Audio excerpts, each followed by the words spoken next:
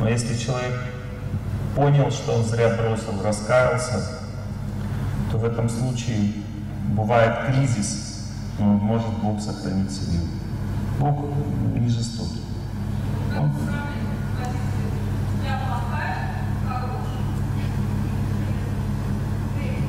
Микрофончик дайте, вот женщина. Можно вопрос задать? Если у мужчины появились отношения, на протяжении многих лет они были. И я, как женщина, я ушла из семьи. Я оставила. Ну, как эту ситуацию расценить? Что, мы сейчас разборки, что ли? Кто, Нет, кто победит, то кто проиграет, то что, чем мы делаем? Скажите в плане того, что если я считаю, что я ушла, это как карма моя. Или все-таки мужчина ушел из отношений? То есть вы не хотите, чтобы ваша карма это была? Нет, я хочу понять это и принять. Собственно, я это приняла, просто немножко разъяснить. Знаете, я вам такую вещь скажу. У вас есть Спасибо. то, что должно быть в сердце у женщины, которая бросила мужа.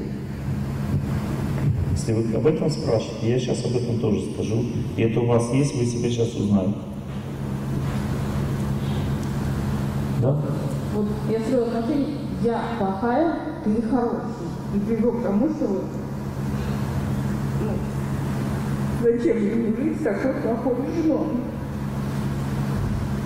И вот как это сейчас справляться? Как исправлять? Никак не исправлять. Вот Бог вам дал такие отношения, потому что в прошлой жизни вы очень жестоко относились к своему мужу. Я это вижу сейчас. Были мужчиной, то есть к жене жестоко. Были мужчиной и вот так вот очень жестко относились к жене. Сейчас получили обратный результат. Никак к этому не относиться. Надо просто перестать думать о себе сейчас и начать думать о Боге, понимаете? Никак к этому не относиться. И когда вы начнете думать о Боге, ваше озеро счастья начнет наполняться, вы успокоитесь. Вы примите ту жизнь, которая у вас есть сейчас. Бог вам дал экзамен. Когда вы начнете думать о возвышенных вещах, о Боге, то у вас сердце станет спокойным. Вы слышите меня или нет? Дайте микрофон. Да, У вас сердце стало сейчас спокойным? да, Вы принимаете мужа, какой он есть? да, он. Вы поняли, о чем я говорю сейчас с вами? Я говорю о том, что не надо думать о муже. Ни он вам не поможет, ни вы ему не поможете.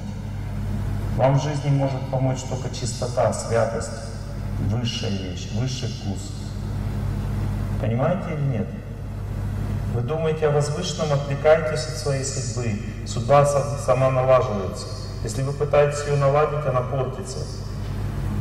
Не думайте о себе.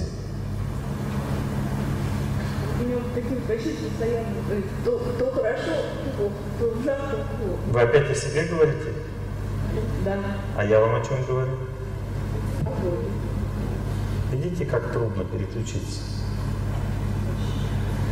Микрофончик забирайте, да. Теперь я кое-что сам скажу. Подождите, не торопитесь. Вы немножко в ажиотаже находитесь. Расслабьтесь, успокойтесь. У меня, кстати, компьютер не подключен а, почему-то к сети. Там сети нет, надо воткнуть получше в розетку, наверное. Или поменять штекер там. Нет, все равно не включен. Видно, не включили эту сеть. У меня уже осталось 5%, сейчас погаснет. Итак, смотрите, идея в чем заключается? В том, что это все нужно нам. Вот, допустим, женщина, когда мужчина бросает, то в результате что происходит? Мужчина бросает, у него жар в сердце возникает. Женщина бросает, у нее возникает в сердце холод. Когда женщина бросает, у нее возникает в сердце холод, то она не может стать близкой кому-то. Смотрите, что происходит. Она пытается создать семью, она красивая, к ней кто-то привлекается, но даже если она с кем-то живет, она не может с ним близкие отношения строить, она не может стать его родственницей, она не может стать его женой. Почему? Потому что она рубанула, бросила. Видите, наказание у мужчин и женщин по-разному происходит. Какой выход? Как избавиться от этой ситуации? Раскаяние. Вам не надо выяснять, кто победит, кто проиграл. Я бросила, не я бросила. Если не я бросила, я победитус. Надо просто посмотреть на свою жизнь. Если вы видите, что у вас не клеится в личной жизни, что холод в сердце, вы не можете семью создать, у вас нет там тепла в сердце, это значит, что вы бросили. Неважно, кто от кого ушел. Надо после этого, значит, начать раскаиваться. И сердце потеплеет от этого раскаяния, сердце станет теплым, а не холодным.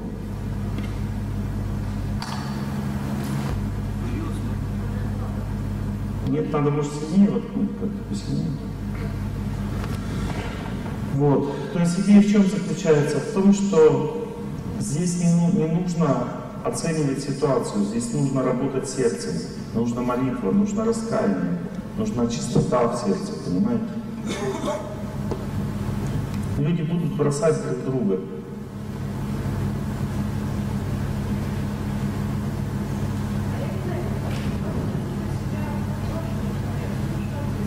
Как чувствует себя возвышенный человек, да? Брошенный человек. Я уже рассказывал об этом, что он чувствует стресс стрессе себя, ему тяжело, ему больно. Он сдает экзамен перед кем? Перед Богом. Когда он сдает этот экзамен, что происходит? Его сердце наполняется радостью и силой. И он знает, что он теперь уже никогда не поддастся на эту провокацию. Он будет близкому человеку служить, а верить будет в Бога. Да?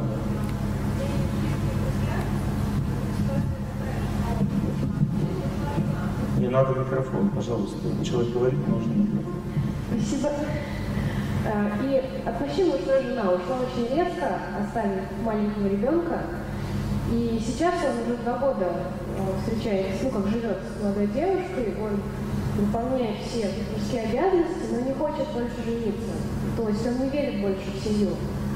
Хотя он замечательный вот муж, прям, вот он ведет себя как муж, она ведет себя как жена. Что в этой ситуации? Это правильно? Ведь как бы, ну, девушка это не устраивает, поэтому это неправильно. С другой стороны, не важно, нехорошо давить.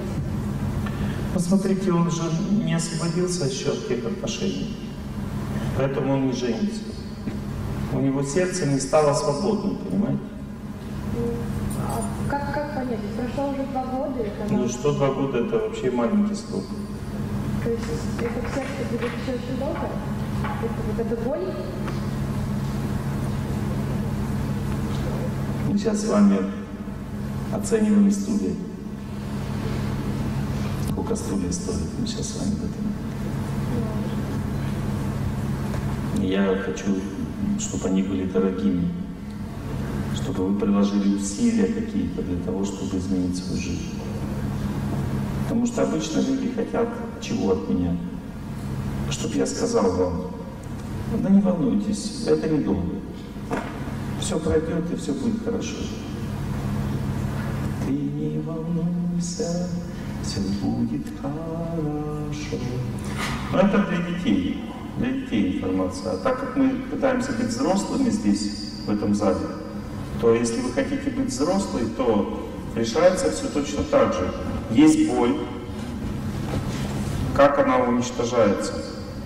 Наполняем водоем водичкой, боль проходит. Почему он не может оттуда отцепиться?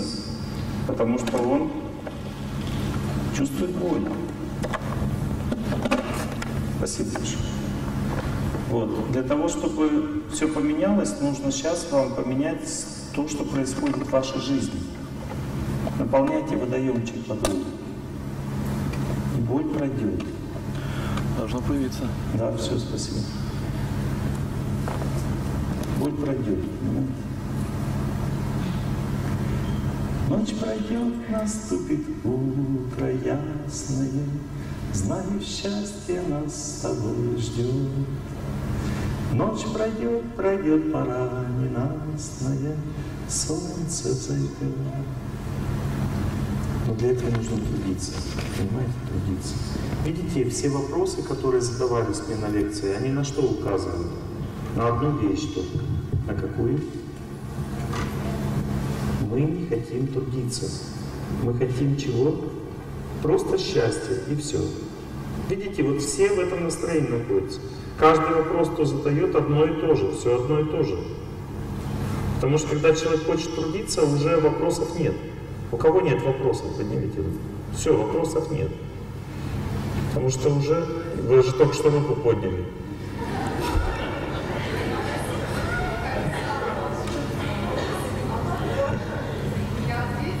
Вы ответили на все вопросы. Спасибо вам большое. Итак, по верности. Давайте по теме лекции еще немножко я вам кое-что скажу важных вещей. Первое. Верность – это труд. Это не то, что «а у нас нет верности в семье». Нет? А я извиняюсь, можно я продолжу? Когда вот на мне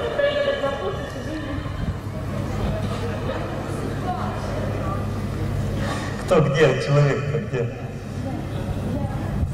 Я вспомнил детский анекдот один. Мужик стоит в этом, в концлагере, черный такой. Этот эсэсовец идет, говорит, в крематории баню, в крематории, и раз он говорит, в крематории, тут опять в крематории, когда же в уже пятый раз. Ну, спрашивает. Я, значит, изучала разные религии, и во всех я разочарована. А вы, не значит, ни одной не изучали. В православии я не знала про славянского языка. Вы меня слышите, нет? Нет, как найти свою веру? Вы меня слышите сейчас? У вас есть одна особенность, вы не слышите никого, кроме себя. Вы сейчас меня слышите? Да. Вы уверены? Я вас слушаю, вы. Вы слушаете, вы с- слушаете, но не слышите, моя хорошая. Понимаете разницу слушать и слышать? Чтобы слушать, слышать человека, для этого нужно аскезу со своим сердцем совершить. Ваше сердце постоянно сомневается во всем. Вы согласны со мной? Да. Вы сейчас слушаете меня? Хотите, я вам кое-что скажу важное? Я нашел свою веру. Но если бы я пошел путем православия или путем мусульманства сейчас, я бы там тоже нашел свою веру. Знаете почему? Потому что я в результате того, что я нашел свою веру, я также потом открыл и эти веры. Вы понимаете, о чем я говорю? Я увидел чистоту этих путей также. Я начал идти одним путем, видел... Да, вы не видите чистоту, вы как муха себя себя ведете. Вы только видите грязь и все сейчас. Почему? Потому что сердце ваше отравлено грязью. Вы не можете услышать, вы только анализируете все время, сравниваете, присматриваетесь. Придет время, вы также грязь увидите и во мне. Зайдете в интернет, послушайте там всякие сплетни, почитайте, о, Олег Геннадьевич такой же плохой, как я и думал. Если человек... Вы говорите все не от себя, вы говорите о что веры своей. Вот в этом я. Иногда от себя что-то говорю, иногда поведаю.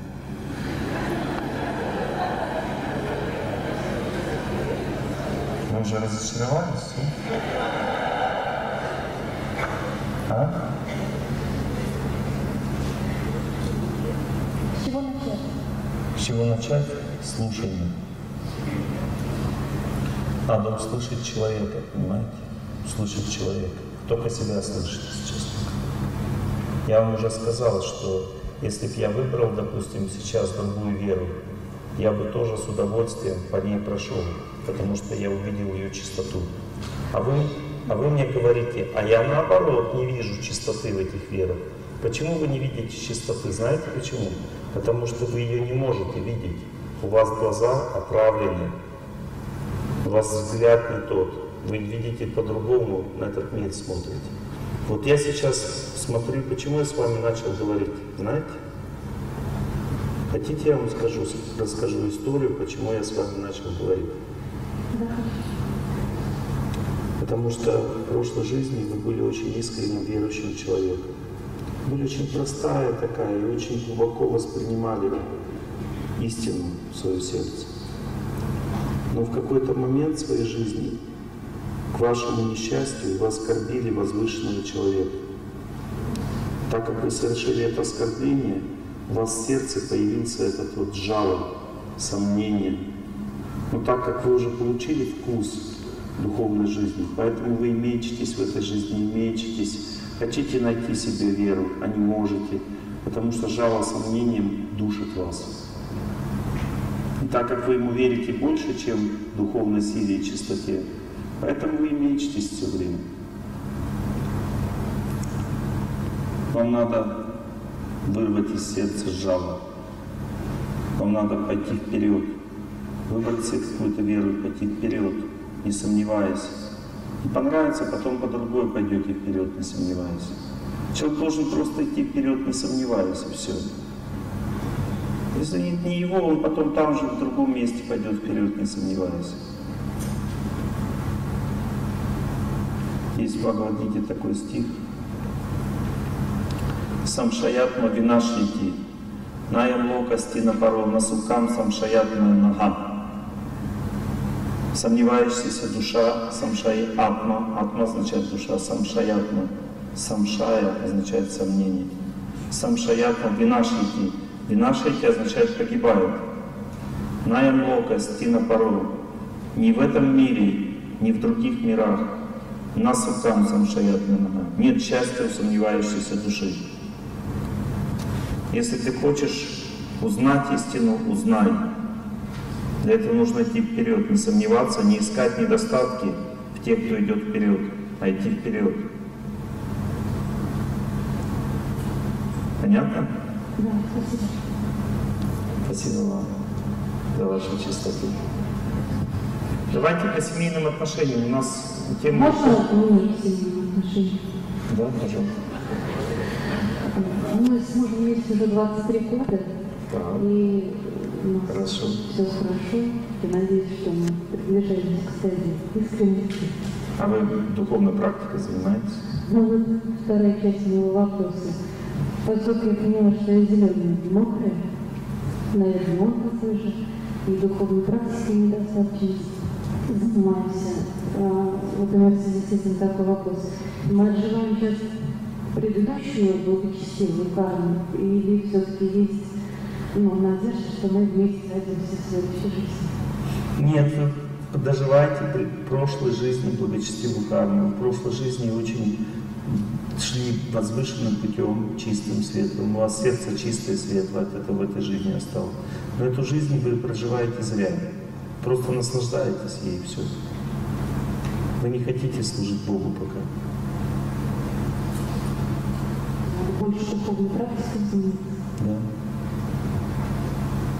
А вы как считаете? Я поняла, что поняла, что это всегда. Почему же вы меня спрашиваете тогда?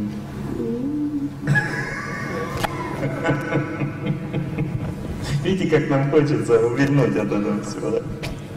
В сторону. Так устроено человеческое сердце. Человеческое сердце хочет наслаждаться только жизнью. Она не хочет трудиться над собой. И надо победить в нем эту силу, победить. Надо заставить его трудиться. Душа обязана трудиться и день и ночь, и день и ночь. Держи лентяйку в черном теле. Понимаете, то есть надо понять вот эту вот систему, что человек побеждает сам свою судьбу с помощью правильного, правильной направленности своего сердца, даже хорошего сердца, даже когда сердце сильное, чистое, благородное, как у вас. Я вам очень благодарен вообще, что вы пришли на эту беседу. Вообще благодарен, потому что у вас чистое, сильное сердце. Когда такое сердце смотришь, видишь, думаешь, Господи, какие люди бывают хорошие. Вот, вы не согласны, да, с этим? Ничего страшного. Я тоже бы не согласился, если кто-то мне так сказал. Вот, это нормально. Но даже чистое и светлое сердце нуждается в практике. Не просто жизни, простой жизни, а в практике. В том, чтобы дальше идти вперед.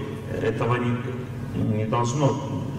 На том, что мне стало хорошо, не должно заканчиваться все. Не ради того, чтобы просто было хорошо, мы здесь живем, понимаете?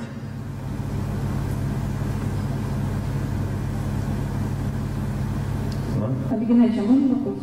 По другой теме немножко. Про Спасибо. правильное воспитание детей. Скажите, пожалуйста, по семейной ценности лекции. Особенно интересует, как вот с раннего возраста ребенку привить правильные вещи, чтобы, с одной стороны, выстроить с ним а, правильные отношения, как мать и ребенок, а с другой стороны, чтобы он был счастлив и как бы, ну, здоров всю жизнь. Чтобы вот он пошел этим путем, а не тем, что навязывается в обществе. Где, где человек, я не вижу, который... Я, я, я. Ага, все, хорошо, слушайте внимательно. В этом мире все просто, мы сами все усложняем.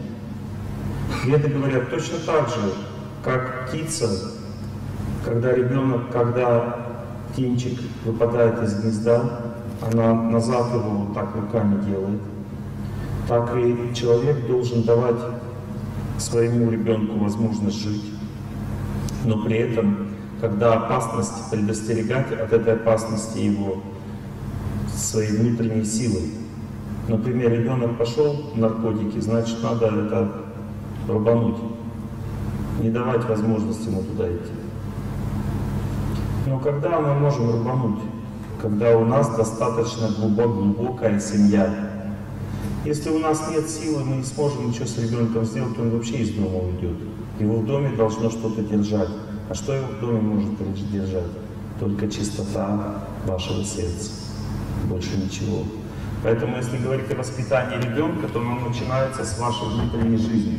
Оно не начинается с того, что вы что-то с ребенком делаете. Потому что причина, почему родители что-то вообще со своим ребенком делают, причина только одна. Они хотят наслаждаться его жизнью. Все, больше нет причины.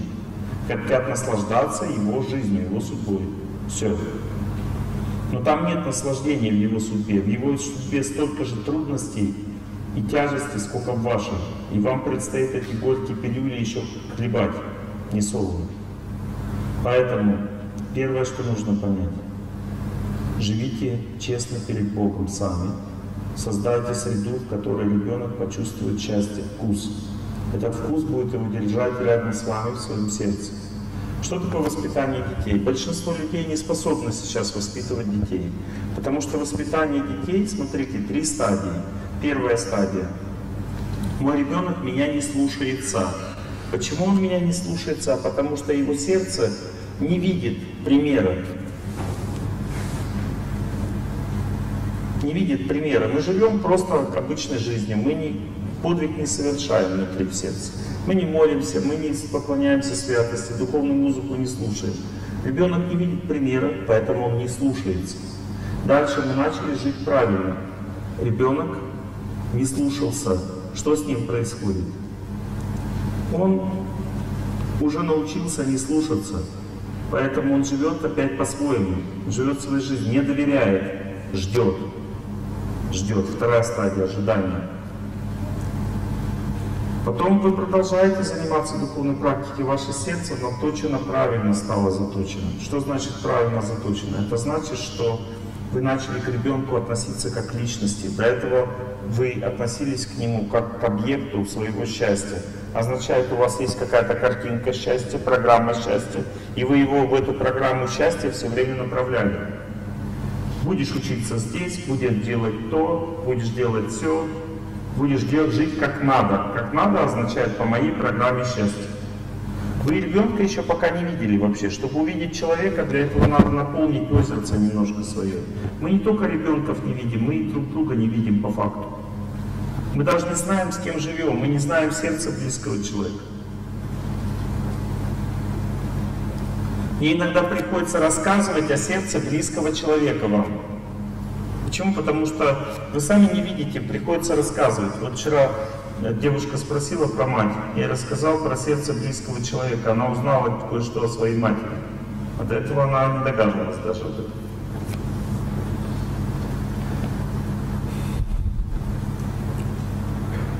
Тихо, слушайте про воспитание детей. Итак, когда ребенок чувствует, что его сердце открылось, что родители начали понимать его как личность, с этого момента сразу же ушки начинают слушать. Когда ребенок видит, что он стал личностью, что родителям интересно его судьба, его жизнь. Не то, что они из него хотят сделать, а он уже стал интересен. Это только от духовной силы бывает, потому что мы никогда друг другу не интересны. Мы интересны только самому себе.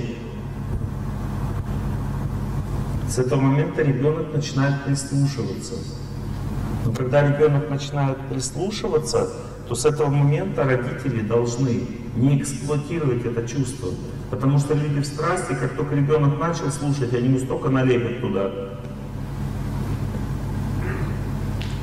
Вот точно так же, как рыбка плывет вперед, я разок это заметил, я разок заметил, как это действует. Я гулял под Москвой, вдоль реки, такая река, мало людей, и там утка плавает с утятами. Я стоял, наблюдал за ними. Куда утка плывет, куда и утята. И разок была такая ситуация, утка меня заметила. И она так резко, так, не думая об утятах, просто дернула в определенном направлении. И утята с огромной скоростью потом устремились за ней, догнали ее через некоторое время. Понимаете, когда опасность, человек просто включает внутреннюю жизнь, внутреннюю молитву, он сам движется вперед. Детишки потом догонят. Поймите такую вещь, что куда рыбка плывет, туда и мальки плывут. Это всегда так действует, это закон. Если вы говорите, мой ребенок поплыл не туда, значит вы тоже не туда плывете. Это закон. Но признаться в себе этому больно. Никогда мальки не могут плыть в другом направлении, они плывут туда же, кто родители, потому что у мальков нет разума. Смотрите, разум сам создает себе среду. У детей до 25 лет у человека нет силы создавать свою среду. О чем я сейчас говорю, сейчас объясню. Вот смотрите, допустим, вы пробовали вставать рано утром в одиночку, что все спят? Что происходит? Рубит вот так вот. И опять назад. Почему срубило? Потому что среда создана не тобой. Это коллективная деятельность разумов многих людей. Но когда человек становится сильным, вот допустим, меня не рубит. Я встаю утром, кто бы ни спал вокруг, хоть все спят, хоть весь зал будет спать, я буду молиться. И потом весь зал начнет просыпаться потихоньку. Понимаете? То есть идея в чем заключается? В том, что э, ребенок, он находится под влиянием среды. Он не может сам что-то создать.